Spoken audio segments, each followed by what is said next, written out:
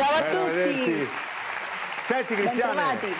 Sì. eh, cioè, mh, siamo rimasti tutti un po' sconcertati vedendo questo frammento della fiction Mina Settembre, la puntata scorsa. Vediamolo un po' dove si è svelato tutto, eh? Ecco, Comunque vediamo. tu la conti giusta. Non sarà un amante, non sarà un boss della camorra. Ma qualcosa di strano c'è. Ma va. Grazie. Prego.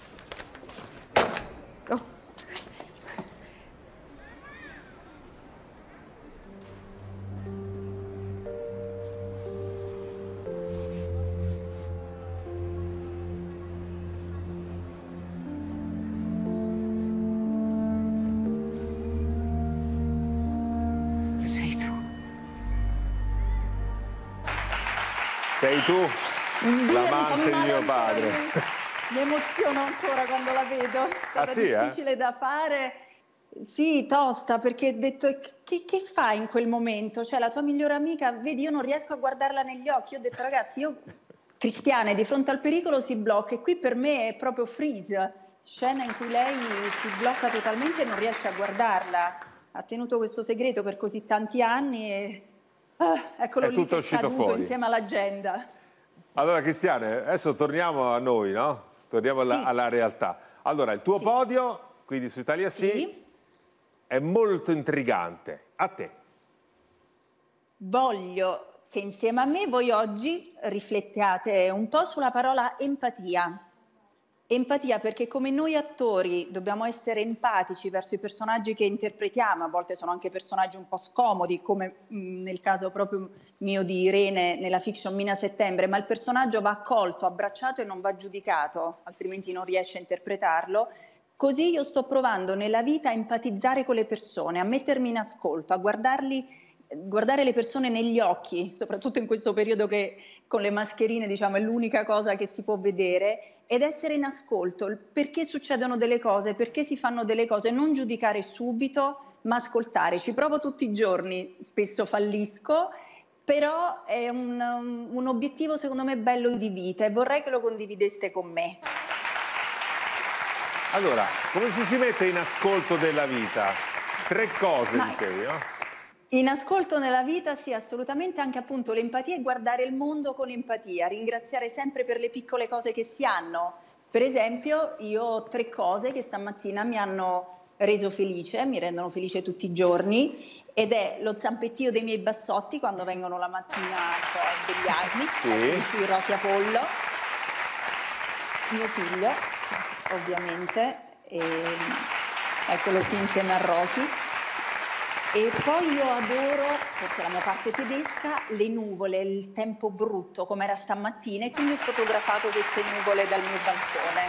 Amo anche il sole, amo anche la mattina che io posso svegliarmi, aprire la serranda, vedo il sole o la sera vedo la luna. A volte io non voglio abbassare le serrande perché mi sembra di trattare male la luna.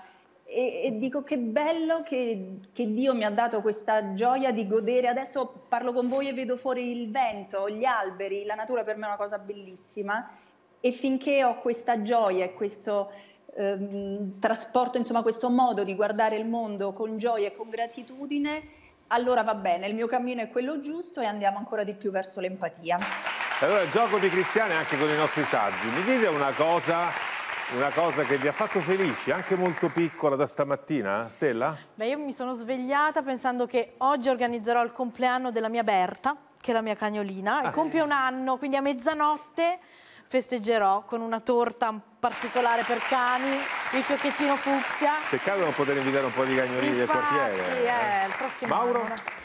Intanto, se posso come premessa, un ben trovato empatico alla signora Filangeri, che credo abbia avuto un periodo di difficoltà nel privato, ampiamente superato dalla sua voglia di tornare a lavorare. Ha fatto molto bene perché ci regala, oltre che la sua imperitura bellezza, la sua bravura dimostrata anche in questa occasione, quindi complimenti a lei.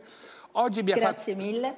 Mi ha fatto molto felice scoprire da una persona che conoscevo già, un autista, che mi ha portato qui alla RAI e ho scoperto dietro un mondo di un signore sessantenne un passato da scienziato, start-up avviata, difficoltà generate dall'età, l'industria pensa a un certo punto che le persone che raggiungono una determinata età non siano poi così importanti, invece ha ricominciato e quindi il mio benessere deriva dal fatto che con la volontà e con la pazienza e soprattutto con l'applicazione ci si può rigenerare facendo un'altra vita per mantenersi e continuando a studiare perché lui mi ha detto vado adesso alla Sapienza a continuare i miei esercizi di scienza. E questo per... incontro è stata una cosa bella di oggi. Bellissima. Poi eh, la startup riguarda la scoperta di come arrivare al centro di un tumore alla mammella in maniera precisa senza violare più di tanto il seno di una donna. Quindi, seguiamo questo, seguiamo, magari lo andiamo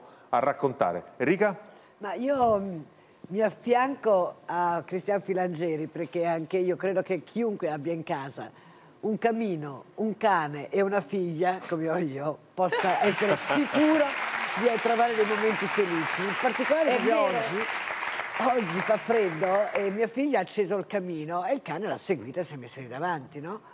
E uno dei ceppi che stanno dentro, non so se tutti, insomma ti assicuro, ti faccio vedere la foto, ha fatto un cuore nel fuoco, un cuore e si vede Nina, la nostra cagnolina, che la guarda così, per cui mi è sembrato così di buon auspicio, poi domani è San Valentino, il cuore chiama Sì, brucia. Ma che bello, vedete? Solo stamattina, eh? Pensate un po' di adesso raccontare di più. Comuni quattro Cristiano- zampe tra tutti, eh, mi sembra. Sì, infatti è vero, tutti amanti dei cani. Cristiane, tu sarai una grandissima protagonista di questo weekend perché c'è Mina Settembre e poi sarai anche protagonista del commissario Ricciardi. Sì, Eh? lunedì Però- sera faccio proprio questa doppietta. Una doppietta. Però eh, torniamo a Mina Settembre, vediamo un'altra scena. Un'altra scena, questa è la chicca, un'anticipazione solo per Italia Sì di quello che succederà nella prossima puntata di Mina Settembre. Pezzettino, Vediamo. guardate. Che dici? Glielo dico pure a Mina di stasera, così ce ne stiamo tutte e tre. Sì, magari.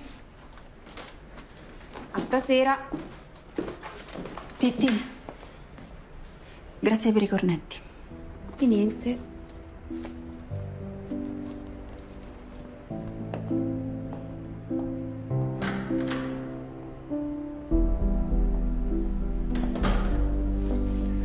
Prima o poi glielo devi dire.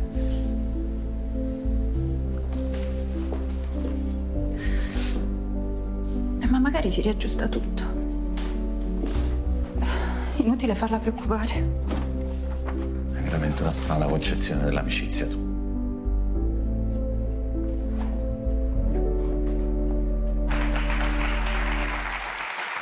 Il segreto dentro, È eh? perché io non solo così ho rovinato l'amicizia con Mina, ma anche il trio, questo bellissimo trio che ci dà tante emozioni e non c'è più.